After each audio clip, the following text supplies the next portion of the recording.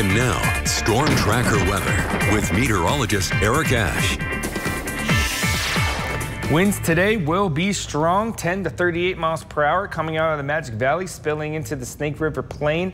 And then for today, temperatures 60 degrees is the high for Pocatello and Idaho Falls, staying with strong winds, 50s for the rest. Southeast Highlands, we've got 50s for the highs. We're still slightly above average, but we're on a downward trend. And then starting on Friday, high pressure picks up again. And for the Eastern Highlands, we do have light rain. There's going to be a cold front swinging through through tonight into tomorrow. That's going to bring precipitation starting with rain and then a snow rain mix and then snowfall for tomorrow. Snake River Plain tonight, Pocatello, Idaho Falls will get down to 39 and 36.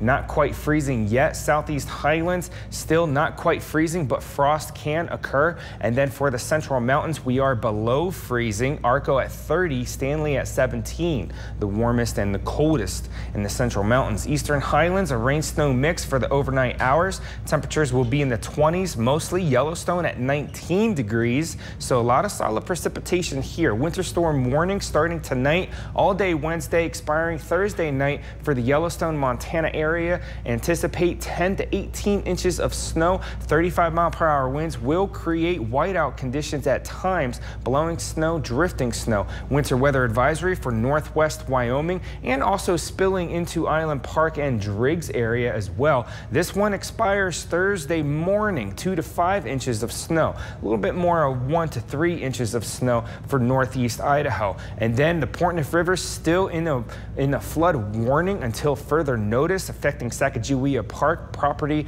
uh, around Black Rock and Inkom and uh, Marsh Creek area. And then the Topaz area in the elbow of this red outline of a V. That's until further notice. Flood advisory for that. It's at bankful conditions. Cresting today and then we'll start to lower over the next several days. Tomorrow for the Snake River Plain, Pocatello 51 along with Idaho Falls 51, Southeast Highlands 40s and 50s, and then for the Central Mountains we've got 40s and 50 for Arco. And then for the Eastern Highlands, a rain snow mix again due to that winter warning pay uh, if you want would like to pay attention to that. That's in effect. Southeast Idaho Chevy dealer seven day forecast Pocatello 60 degrees today bumping down to 51 a cold front swinging through the northeast corner of Idaho and Wyoming that's going to drop our temperatures today and then we do have high pressure setting up again on Friday and what that means is we'll start to have nice, nicer weather and a warming trend. Idaho Falls going from 60 today to 51 tomorrow.